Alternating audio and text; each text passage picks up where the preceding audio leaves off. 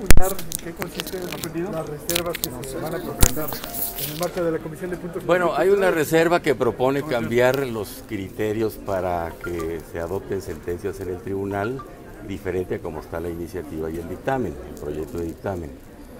Y hay otra para agregar un texto de acciones afirmativas en una parte del artículo 41. Y hay otra para agregar en un transitorio ciertos plazos para el inicio del siguiente periodo electoral, donde ya entrarían en vigor reformas como esta, y para calificar de, de actos anticipados o no las expresiones que se den dentro de un plazo determinado. En eso consiste en esas tres que tengo hasta ahora, pero puede haber más. ¿eh? En el caso de los eh, colectivos que han protestado por la paridad de género de las facultades que le quitan al tribunal, ¿se va a modificar, diputado? No se le quitan facultades al tribunal, se le propone un nuevo criterio para resolver. Eh, el objetivo es que no ponga sanciones que no están en la ley y que no adopte procedimientos que no están en la ley, que no cree normas jurídicas, que esas se las reserve al Congreso de la Unión exclusivamente eso. En lo de las acciones afirmativas, uno de los grupos parlamentarios lo incluyó para darle al Congreso la facultad de legislar en la materia. Hoy no la tiene. Han sido tribunales y el Poder Ejecutivo quien ha impulsado esas acciones que tienden a modificar pues, el, el contexto de vida de grupos minoritarios. Eh, nada tiene que hacer, por ejemplo, el Tribunal Electoral en asuntos de paridad de género, de acciones afirmativas para grupos minoritarios en las escuelas o en los centros de trabajo. Esa no sería materia electoral. Nomás está pensando en lo que sucede en el Congreso y en los partidos políticos.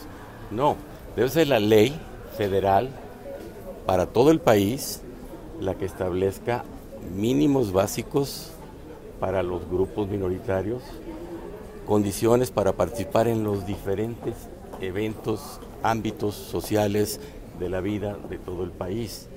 Le corresponde de manera natural y propia de manera con un sentido lógico constitucional al Congreso del país, pues legislar en la materia. Pero ¿por qué la Pero no entonces de los de estos grupos colectivos? Pues yo creo que es una lectura que no ha sido bien bien elaborada y también porque las redes sociales y, y, también en los medios y los comentarios pues llevan una inercia que lleva a otro tipo de lecturas, pero lo que le estoy diciendo es la interpretación que se puede hacer de la iniciativa y del dictamen. Y cuando reanudemos esto, ustedes, ojalá y tengan la paciencia de esperarse y aguantarnos, verán la discusión cómo, cómo aclara todos estos aspectos. Diputado, se ha llegado a decir que esto sería un retroceso en materia de paridad de género al interior de los partidos políticos. ¿Qué diría al respecto?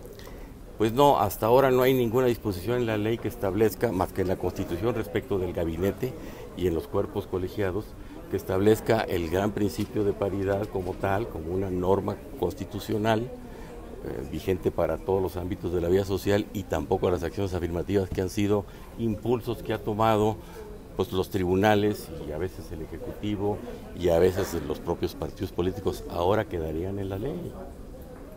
Por, por, lo que hace a los plazos que estaba comentando de la reserva en un artículo transitorio, ¿a qué se refiere concretamente? ¿Entraría en vigor en el proceso electoral 2023-2024? Esa es una reserva que vamos a discutir y a votar.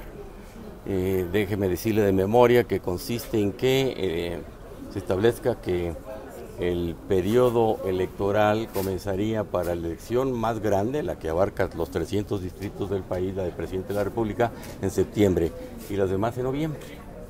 Esa es una propuesta. Y que se entiendan actos anticipados de campaña aquellos que se pronuncian eh, dentro de los 30 días anteriores a las precampañas. Esa es la propuesta, nada más reserva.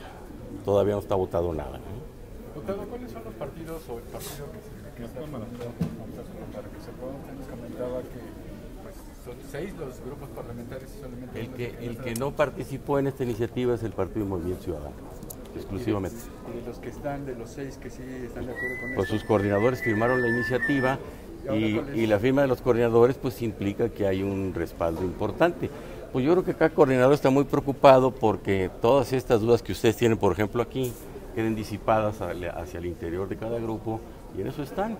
Y bueno, pues en aras, como dije hace un momento, ya fuera, ya durante el receso, en aras de llegar a un consenso mayúsculo que pudiera llevarnos hasta la unanimidad, están haciendo un esfuerzo los coordinadores de los grupos parlamentarios que para eso están. Su función es precisamente inducir acuerdos políticos dentro del Congreso.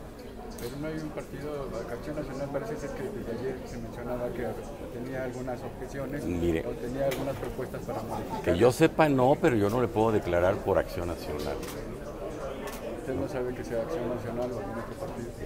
Yo hice una exploración telefónica hace rato ratificando invitaciones y no encontré mayores problemas, pero sí la preocupación de, déjeme usar la palabra, planchar todo internamente cada grupo parlamentario. Muy bien, gracias, gracias. ¿Regresan en una hora?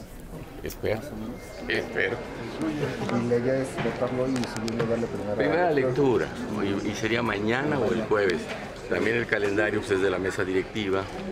Pero espérense que lo votemos aquí, adelantando.